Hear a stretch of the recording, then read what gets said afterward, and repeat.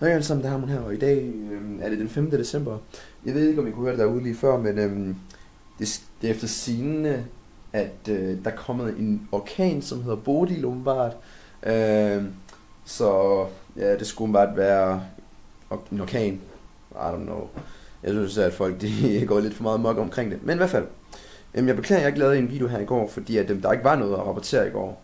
Øh, det eneste, vi lavede, det var faktisk at øh, lave projektet Øh, fordi at lige nu så skal vi korrigere for, at øh, hvis vi har telefonen, så skal vi sørge for, at, øh, at det her ikke bliver talt med, når vi skal øh, rykke telefonen frem og tilbage på den måde.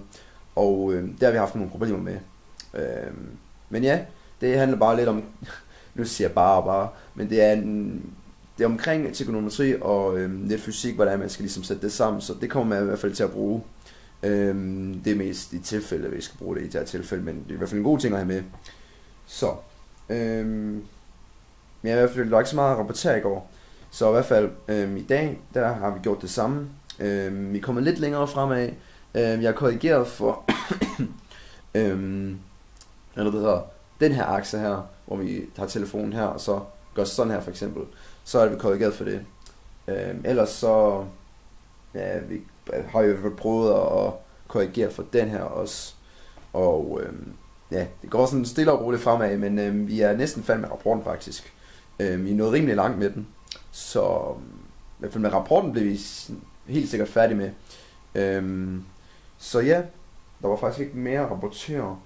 Øhm, men jeg synes det underlige det er, at folk de har snakket meget omkring det der Bodil, øh, Arkan ting der, Øh, mest fordi, at øh, der er det kun begyndelsen. Øh, det handler omkring, jeg tænker mere på, at øh, hvis man tænker på udtrykket stillhed for stormen, så det her, det er stillheden inden storm. Jeg tror, der kommer en mere syg storm øh, næste gang. Øh, så ja, yeah, der, øh, der, har været sådan, der har været en orkan, eller ikke engang en orkan. Hvis der var en orkan, så ville jeg se flyve ting og sådan noget af det, det var der slet ikke. Øh, så det har bare været rimelig meget vind, men ikke sådan noget med, at man tænker, wow, det er videoværdigt.